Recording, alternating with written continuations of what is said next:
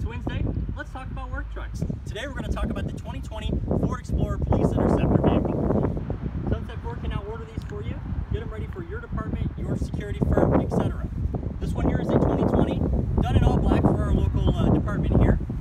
This one has the standard V6 motor in it. The standard engine though for the 2020 Explorer Police Interceptor is going to be the 3.3 liter hybrid. So it's going to save your department some fuel overall.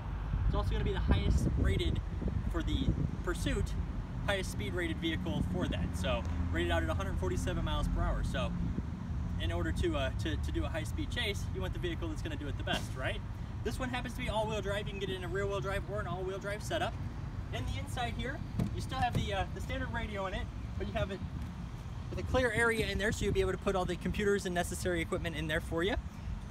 Front seat is going to be a power seat on the driver's side, manual seat on the passenger side. They move the shifter obviously up so you can you can still shift the gears and everything and not have to have to have the knob in the way. In the back seat, it's set up like a, uh, a standard Explorer would be with the with the bench seat in the second row. No handles on the back door. Obviously, you don't want prisoners hopping out, so if you have to detain somebody, you don't want them hopping out the back seat.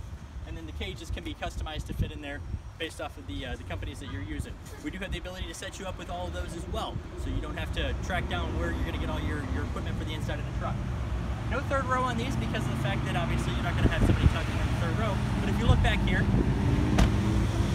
where the third row would be, you have a nice flat, clean work surface. So you'll be able to set that up with all your bins and, and boxes that you're going to need for various things that you're going to do on a day-to-day -day basis in law enforcement. Tow hitch is going to be on there as well. Going to be able to tow up to 5,300 pounds with this vehicle. So if you have to pull around a, a police boat or anything like that, you're going to be able to do that with this vehicle.